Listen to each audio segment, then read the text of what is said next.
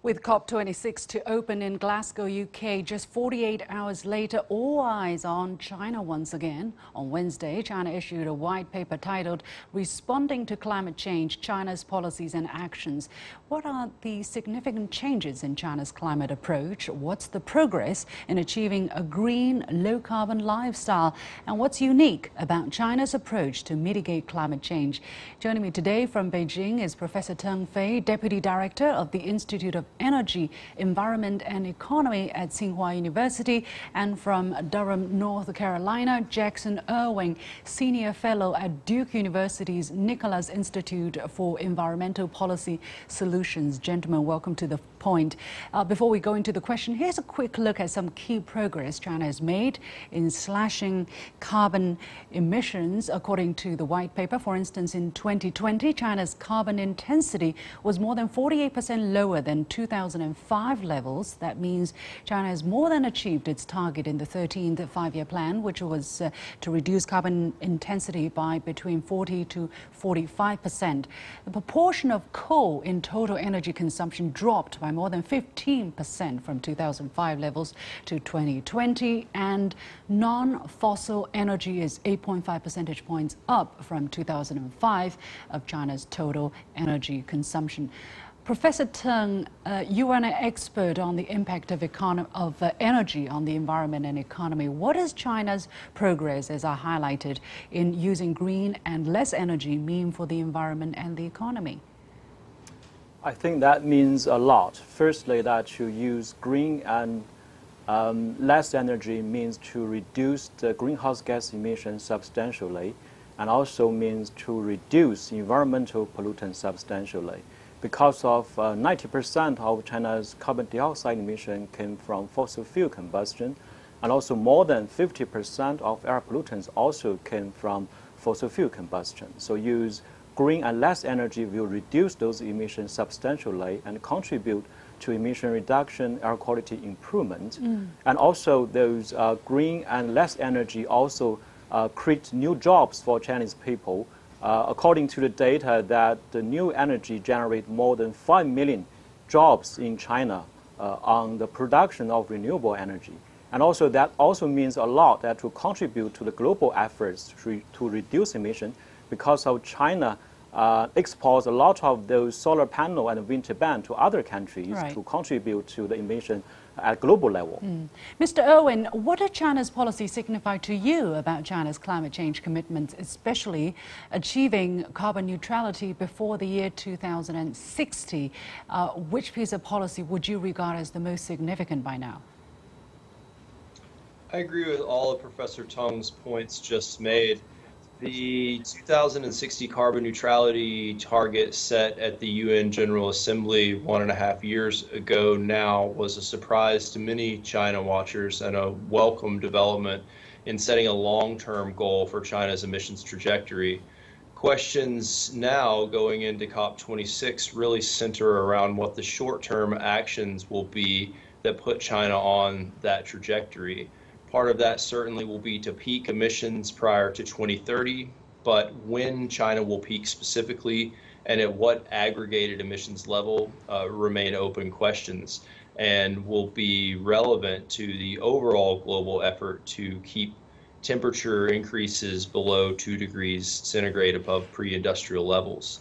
China has, there are several very important yeah, policies Mr. Yeah, uh, Mr. to answer your question. Mr. Ewing most impactful there uh, that I would highlight, uh, most yeah. importantly, perhaps would be a combination of effective power sector reform that can get some uh, a greater uh, representation of the renewable energy that Professor Teng just mentioned uh, to consumers and onto the grid efficiently and effectively, and also China's national emissions trading scheme, which has been operational since this summer uh, and has the potential to really drive mm. many of these national targets uh, to Mr. Ewing, now, China, ha- Mr. Ewing, China has pledged that non-fossil fuel will account for 80% of China's energy usage by 2060. How ambitious is this goal?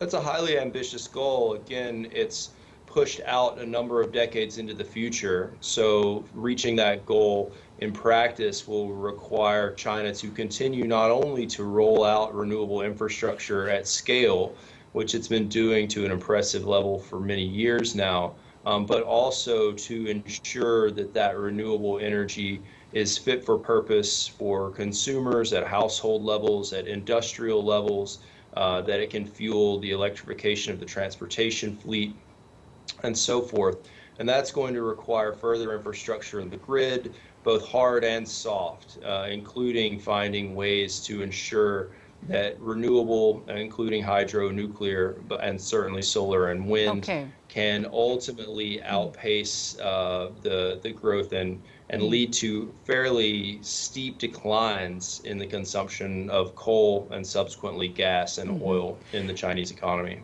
The just released white paper says China has found a unique path to reducing greenhouse gas emissions that conforms to its actual conditions. Professor Teng, what's unique about this path and how efficient, how effective is it going to be? I think there are many unique uh, characteristics, but I'd like to highlight two of them.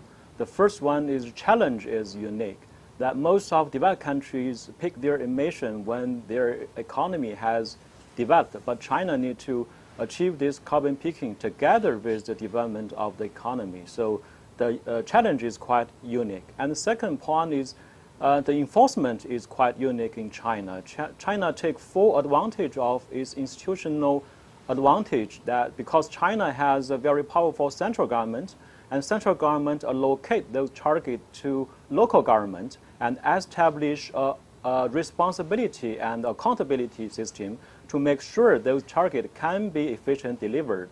Uh, but however, that those, cabin, uh, um, those uh, command and control uh, policy and methods is not very efficient in terms of cost effectiveness. So as Professor Evans said, that uh, in uh, this year, China has established a carbon market, which covers more than 2,000 power companies right now, and covers more than 4 billion tons of carbon dioxide, which make the Chinese a, a, carbon market, the biggest one uh, in the world. And in the future, China will use this two-wheel strategy. The um, command and control plus this uh, carbon market will deliver China's uh, target. Hmm. Uh, Mr. Owen, how do you look at this multi-level organizational structure that China has put in place to not only coordinate its policy goals, but also uh, make these binding targets and, and enforce the, the realization of these targets. How are there similar models in other countries in terms of how to realize climate uh, fight, you know, efforts fighting climate change?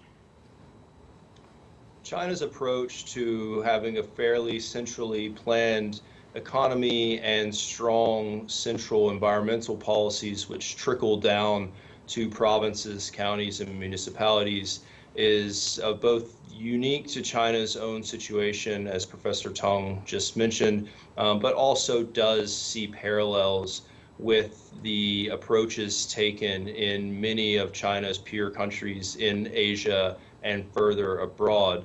The core challenge for China will be to create incentive structures for leadership at these municipal and provincial levels, in particular, that can incentivize environmental performance uh, can really send strong signals that pronounce GDP growth and development of, of basic infrastructure, manufacturing, and industry is no longer the sole or primary goal of the uh, country, but rather a balanced growth paradigm mm. that helps to improve the quality of lives of the citizenry while also meeting these environmental okay. targets. Professor... And creating these incentive structures will, will, will help drive that yeah. forward. Professor Teng, do you agree with the challenge that uh, Mr. Owen just highlighted? And are there any efforts being undertaken to, in, to improve the incentive structures? Yeah, I think that that will be a challenge for China in the future, that to maximize the function of the carbon market and to replace mostly the command and control uh, mechanism which is uh, uh, uh, going right now. I think that will be the biggest challenge for China to achieve the carbon peaking and carbon neutrality with the least cost. China has also highlighted a people-centered approach, I mean, to tackle climate change uh, while in improving socio and economic development and uh, create jobs and eliminate poverty and all of that together in synergy. Professor Teng, how is it possible for China to create such an approach? And uh, in, in other countries, are, are they taking a different approach? Can you do, can you fight climate change without really taking people's interest at the, at the core of your effort? I think that there is a consensus that among countries that we need to deal with climate change within the context of sustainable development, that we should regard climate change as one of the broader social development issues. Uh, there is a consensus. And I think that the, the uh, China that put people in uh, the center of the whole thing that uh, reflect um, these uh, uh, issues and also uh, I think that in the Chinese uh, people central uh, uh narrative, which also means uh, to consider the current generation, but also highlights importance of future generation because of in the white paper, it also highlights this responsibility for future generations. So those intergeneration equity is also a concern for China. Mr. Ewing, finally, fighting climate change uh, to protect the fundamental interests of the people is a common goal of countries. Do you see any nuance in the Chinese approach? Certainly. I think that China is correct in putting forward plans that place human development, poverty eradication, improvements to quality of life alongside environmental targets and goals. And there's precedent for that in the decoupling of economic growth and emissions growth in other parts of the world, including Europe, the United States, and elsewhere, where we do see emissions decline happening alongside economic growth. The thing that I would add to what Professor Tong has just described is that I think China also has the opportunity to enhance the role of civil society and people based movements on the environment in the country, which are already robust but could expand and could redouble the country's efforts uh, if they are uh, allowed to and encouraged to flourish on environmental issues. And that uh, the government's ability to make the case effectively that it's in the interest of the citizenry to get behind these environmental efforts uh, okay. uh, will be essential to them being met. All right, we're going to leave it there. Many thanks to my guests, Professor Teng Fei from Tsinghua University and Jackson Ewing from Duke University.